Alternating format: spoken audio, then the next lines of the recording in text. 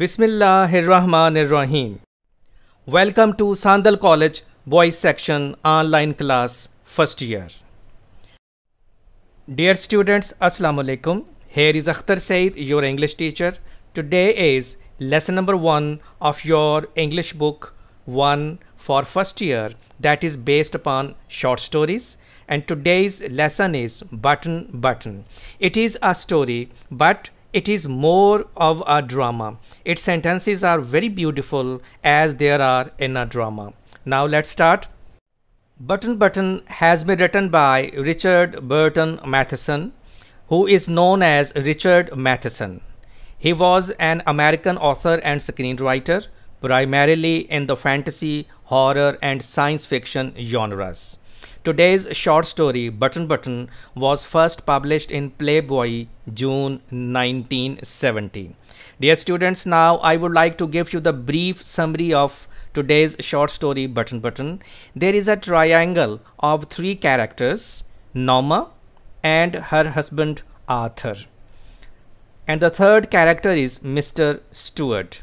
Norma is a greedy and selfish lady, but on the other hand, Arthur, who is her husband, is very sensible and self-contented person. Mr. Stewart is an agent of an international organization. Mr. Stewart brings a push button unit and asks them if they uh, push the button somewhere someone in the world will die and in return for which they will get Norma and Arthur will get $50,000. Norma is a poor lady she is trapped but Arthur does not become trapped.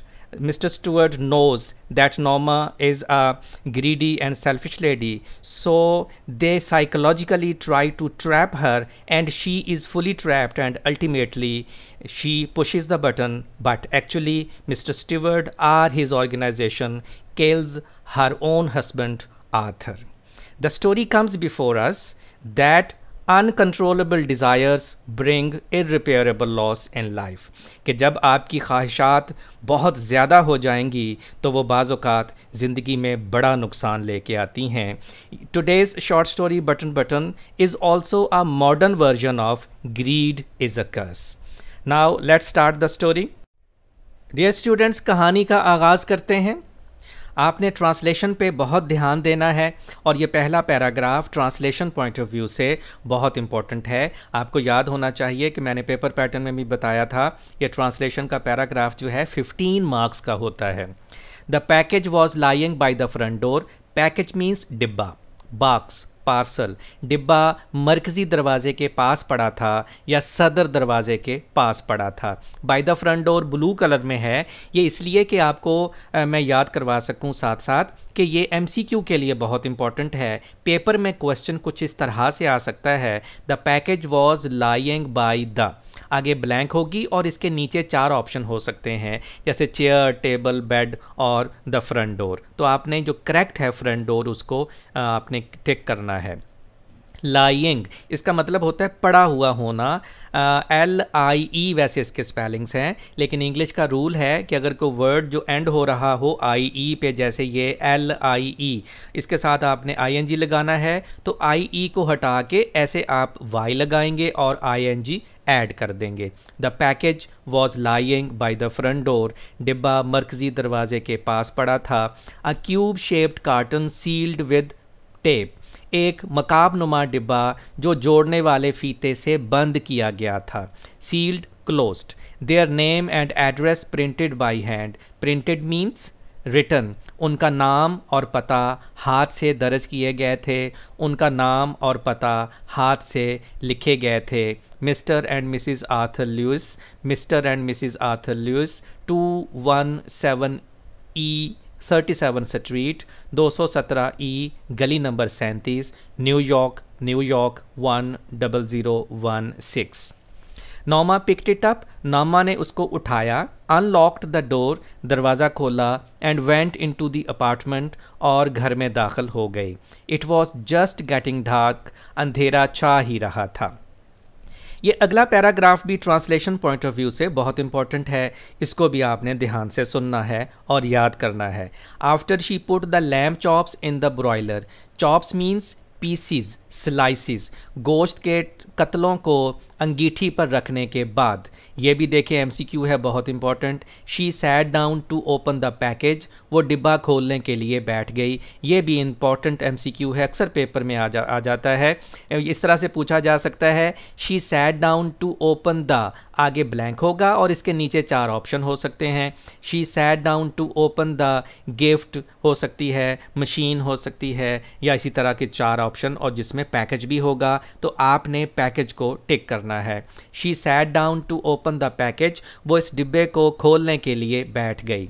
In side the carton उस डिब्बे के अंदर was a push button unit एक button दबाने वाला आला था fastened to a small wooden box जो कि लकड़ी के एक छोटे से डिब्बे के साथ जुड़ा हुआ था। Fastened fixed attached to. वैसे तो जो सिनोनिम है, वो सारे के सारे ये देखें रेड कलर में है, ये वाला सिनोनिम अटैच टू ये पर्पल कलर में है। जो पर्पल कलर है, ये फिक्स है। जैसे आप इन एफ़ के बाद आप में से बहुत सारे जो स्टूडेंट्स हैं, वो मेडिकल कॉलेज में दाखिले के लिए एमडी कैट का पेपर देंगे। एमडी कैट में एक क्वेश्चन आता है वोकेबलरी का, जिसके आपको सिनोनिम और एंटोनिम लिखने होते हैं। तो ये अटैच टू उस वोकेबलरी का हिस्सा है, जिसमें total two hundred eight words हैं। तो आपने अटैच टू के ज़्यादा से ज़्यादा सिनोनिम और ज़्यादा से ज़्यादा एंटोनिम याद करने की कोशिश करनी है। Inside the carton was a push button unit fast to a small wooden box उस डिब्बे के अंदर एक एक बटन दबाने वाला आला था, जो लकड़ी के एक छोटे से डिब्बे के साथ जुड़ा हुआ था। A glass dome covered the button शीशे का एक गुंबद उस बटन को ढांपे हुए था। Noma tried to lift it off Noma ने उसको उठाने की कोशिश की। उसको हटाने की कोशिश की but it was locked in place लेकिन इसको ताला लगा हुआ था।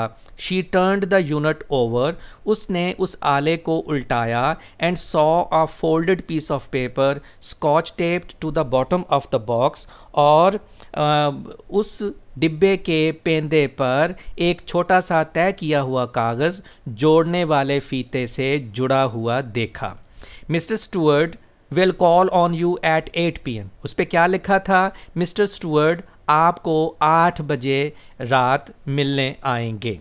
तो ये भी देखें, ये क्यू है तो आपने इसको बहुत अच्छे तरीके से याद रखना है। Noma put the button unit beside her on the couch. Couch means sofa आप इसे दीवान भी कह सकते हैं। Noma put the button unit beside her on the couch Noma ने बटन वाले आले को अपने साथ दीवान पर रख दिया या अपने पास सोफ़े पर रख दिया।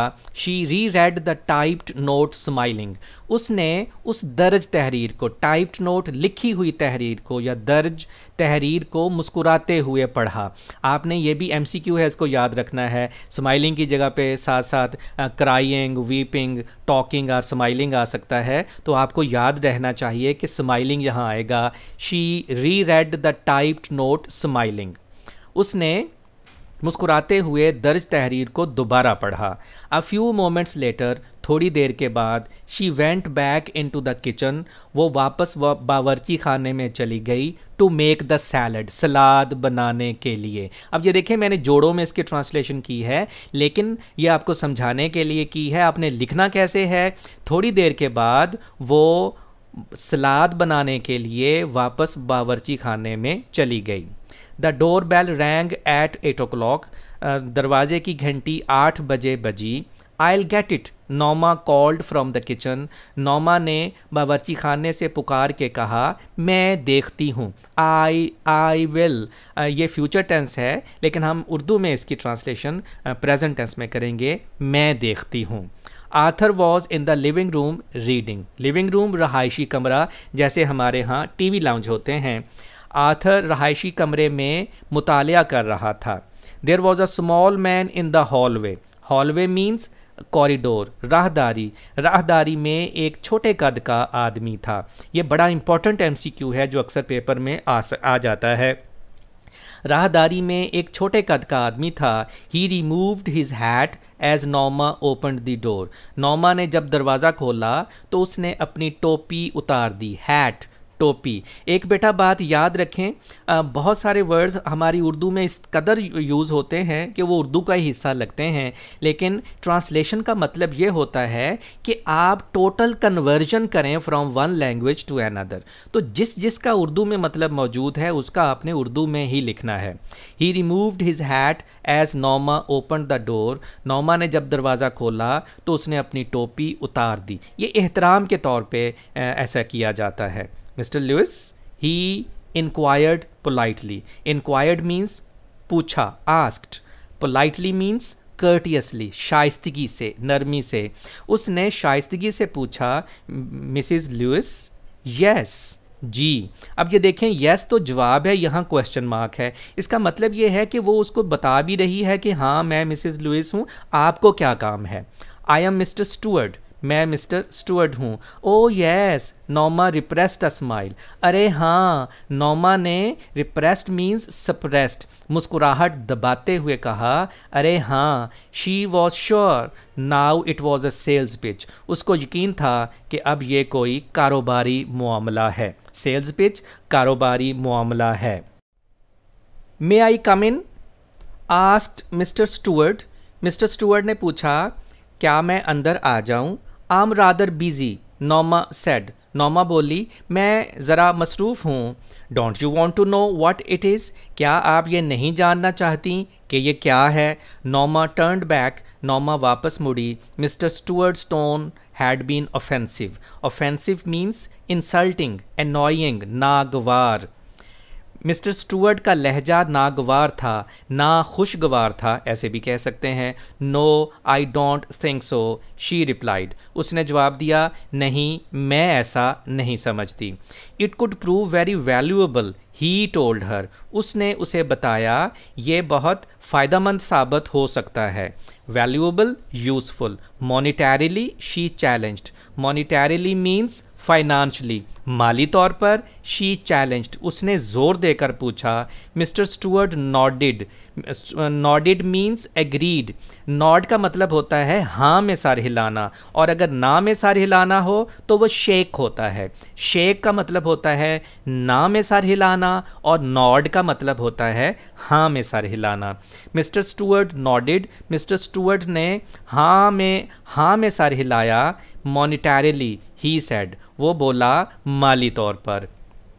नोमा फ्राउंड नौमा ने तेवरी चढ़ाई। ये बहुत इंपॉर्टेंट ये एमसीक्यू है, ये वर्ड है फ्राउंड ये आपकी फ़र्स्ट ईयर में कई मरतबा यूज़ होगा। इसलिए पेपर में भी इसके आने के ख़ासे चांसेस होते हैं। फ्राउंड मींस स्काउल्ड जो माथे पे बल पड़ते हैं, उसको कहते हैं माथे माथे पर तेवरी चढ़ना।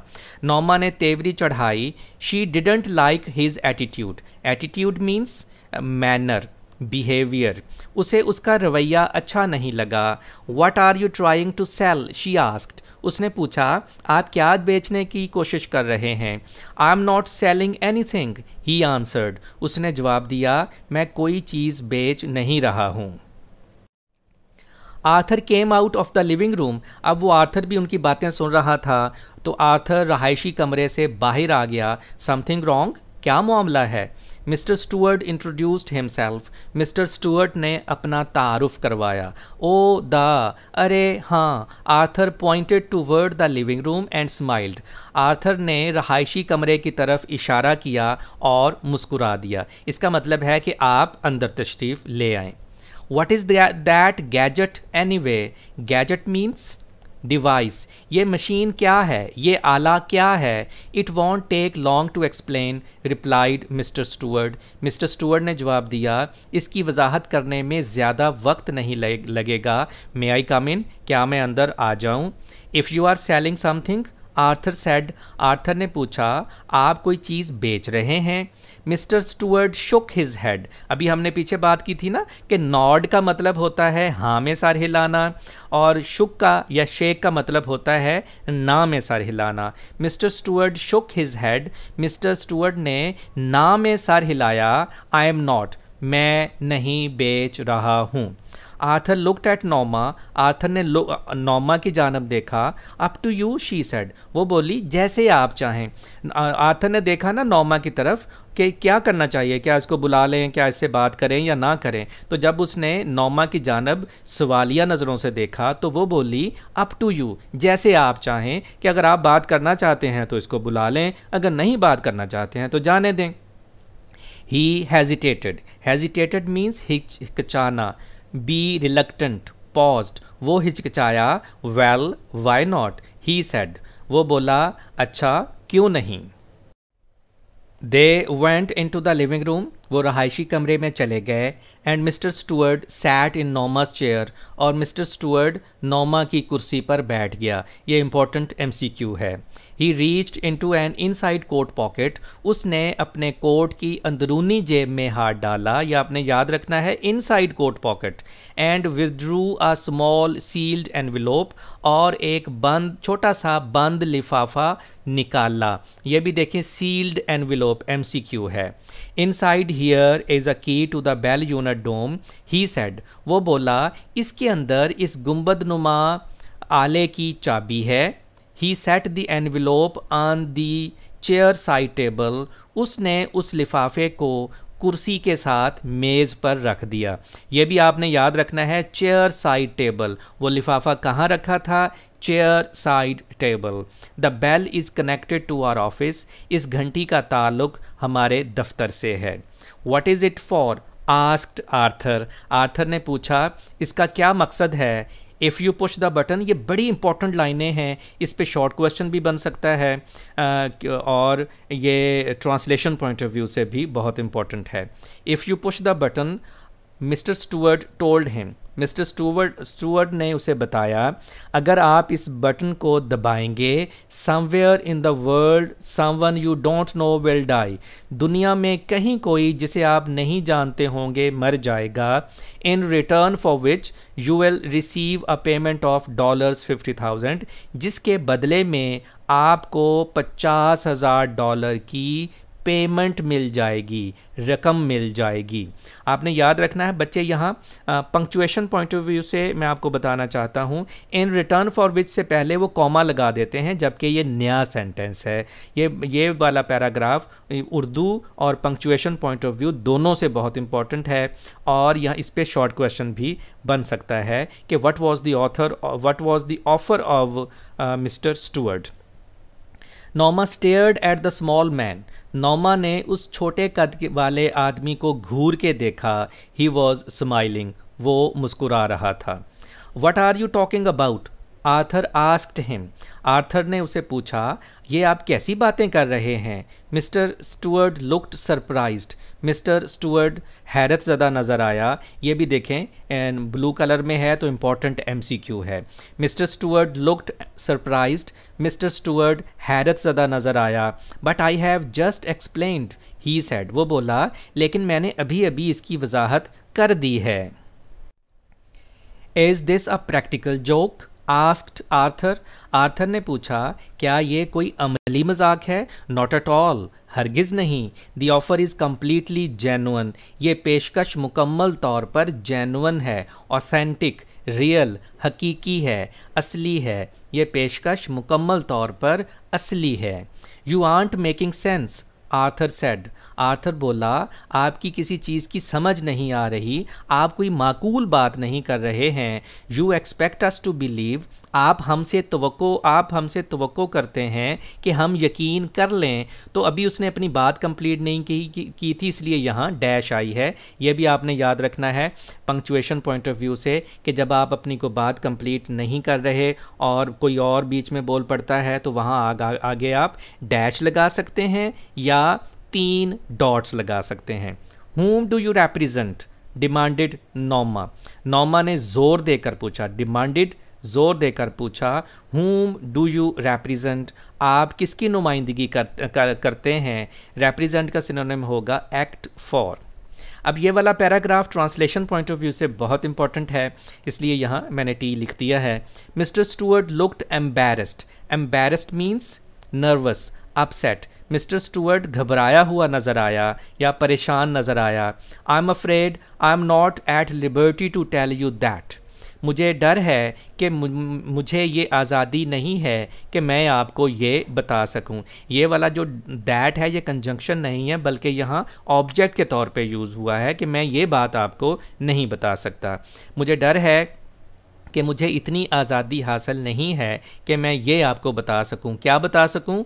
हुम डू यू रेप्रेजेंट कि आप किसकी नुमाइंदगी करते हैं? ही सेड वो बोला हाउएवर आई एश्योर यू ताहम मैं आपको यकीन दहानी करवाता हूँ the organisation is of international scope scope means level range कि ये तंजीम बैन अवी सतह की है। ये वाला पैराग्राफ यहाँ ट्रांसलेशन पॉइंट ऑफ़ व्यू से इंपॉर्टेंट है।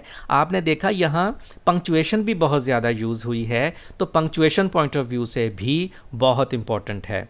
I think you had better leave Arthur said standing Arthur ने खड़े होते हुए कहा, आपके लिए बेहतर है कि आप यहाँ से तशरीफ़ ले जाएँ। Mr Stuart rose Mr Stewart खड़ा हो गया ऑफ़ कोर्स यकीनन and take your button unit with you और अपना ये बटन वाला आला भी साथ ले जाएँ। Are you sure you wouldn't care to think about it for a day or so for a day or so एक आध दिन के लिए। क्या आपको यकीन है कि आप एक आध दिन के लिए इसके बारे में सोचने की परवाह भी नहीं करेंगे या सोचना भी नहीं चाहेंगे? क्या आपको यकीन है कि आप एक आध दिन के लिए भी इसके बारे में सोचना नहीं चाहेंगे? Arthur picked up the button unit ये वाला जो पैराग्राफ है again I would tell you translation point of view से बहुत बहुत इंपॉर्टेंट है।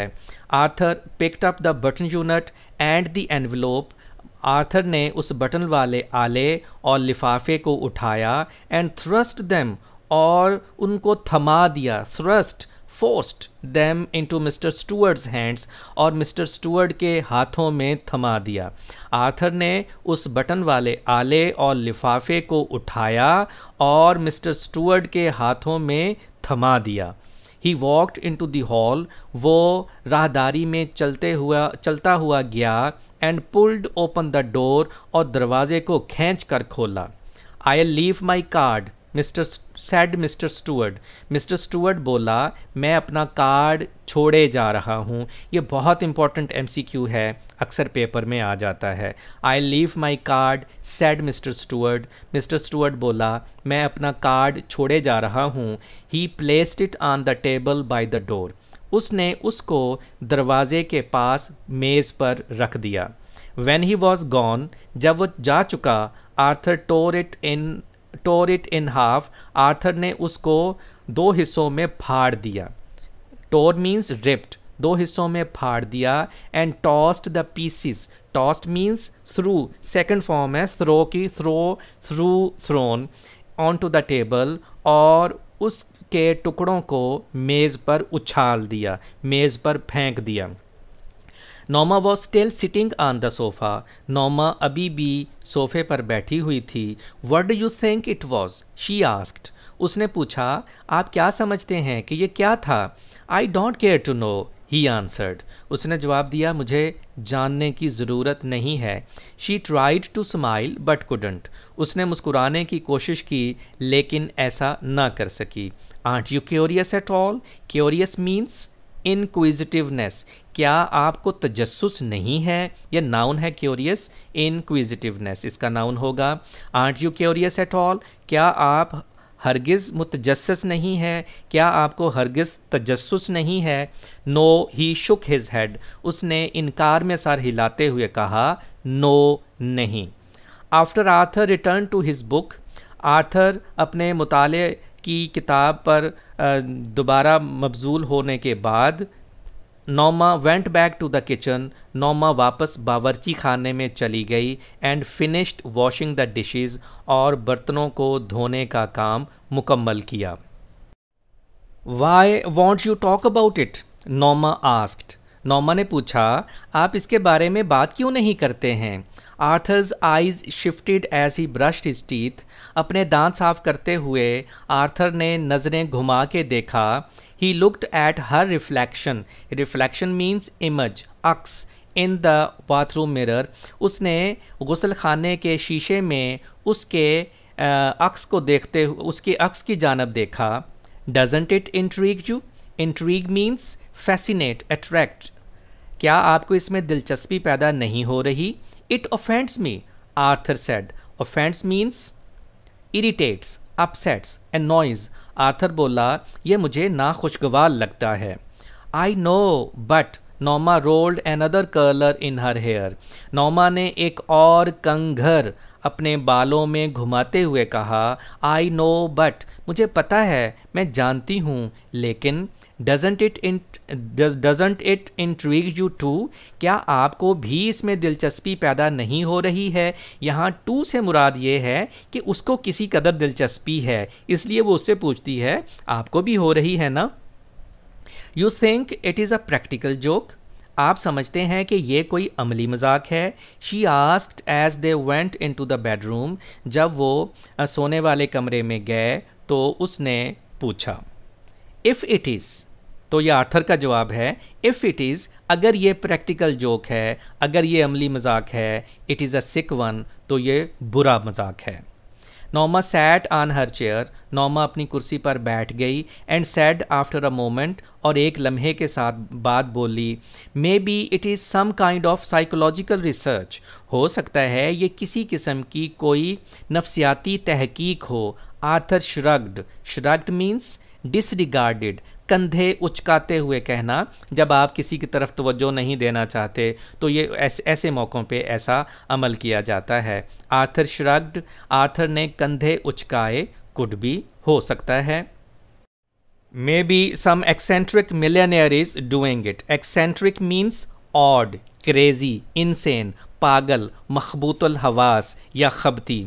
हो सकता है कोई खबती लखपति ऐसे कर रहा हो। ये वर्ड जो एक्सेंट्रिक है, ये पर्पल कलर में है तो ये भी आपकी एम डी कैट वकेबलरी में शामिल है। इसके भी ज़्यादा से ज़्यादा सिनोनिम और एंटोनिम याद करने की कोशिश कीजिए। मे भी हो सकता है, ये ये जवाब है आर्थर का। Wouldn't you like to know क्या आप जानना नहीं चाहेंगे? Arthur shook his head Arthur ने इनकार में सर हिला दिया। डियर स्टूडेंट्स आपने नोट किया होगा, ये जो जेस्चर्स हैं शेक और नॉड के, ये बार बार यहाँ यूज़ हुए हैं। तो शेक का मतलब ना में सर हिलाना नॉड का मतलब हाँ में सर हिलाना। वाई वो पूछती है क्यों? Because it is immoral immoral गैर अखलाकी unethical because it is immoral क्योंकि ये गैर अखलाकी है। ही टोल्ड हर उसने उसे बताया। Noma slid beneath the covers slid means सिरक जाना स्लिप्ट नोमा, लिहाफ के नीचे सिरक गई सोने के लिए। Well I think it is intriguing intriguing means attractive fascinating अच्छा मेरा ख्याल है, ये दिलचस्प है शी सैड वो बोली। Arthur turned off the lamp Arthur ने बत्ती बुझा दी। गुड नाइट ही सेड वो बोला शब खैर। ये ज़रा देखिए, ये बहुत इंपॉर्टेंट लाइन है चूँकि आर्थर बात नहीं करना चाहता था तो उसने बजाय ये कि वो उसको बोल के कहता, उसने इशारतन बत्ती बुझा दी और कहा शब खैर, जिसका मतलब है कि अब मैं आपसे इस टॉपिक पे बात नहीं करना चाहता। नोमा क्लोज हर आइज़ नोमा ने अपनी आँखों को बंद कर लिया। Fifty thousand dollars she thought उसे ख्याल आया पचास हज़ार dollar that's all of today's lecture dear students if you have any problem If you have any question, you may comment in the comment section below. I'll answer all your questions. एक आपको मैं खुशखबरी ये दे दूँ आपकी text book में जितने भी शॉर्ट क्वेश्चंस हैं वो मैं इस जब ये इसका सेकंड हाफ़ इस लेसन का आ जाएगा बटन बटन का तो उसके डिस्क्रिप्शन सेक्शन में मैं तमाम टेक्स्ट बुक के शॉर्ट क्वेश्चंस रिटर्न फॉर्म में दे दूँगा तो आप वहाँ से वो भी हासिल कर सकते हैं। और उनको अच्छे तरीके से याद करें। फ़र्स्ट ईयर में पेपर में ज़्यादातर क्वेश्चन टेक्स्ट बुक से आते हैं, जो उसकी एक्सरसाइज में से है। तो इसलिए मैंने आपकी आसानी के लिए वो सारे के सारे शॉर्ट क्वेश्चंस डिस्क्रिप्शन लिंक में दे दिए हैं। तो आप जब ये लेसन कंप्लीट होगा सेकंड हाफ़ के बाद तो डिस्क्रिप्शन लिंक में आपको मिल जाएँगे। Till some next lecture take a very good care of yourself and your dear ones thank you very much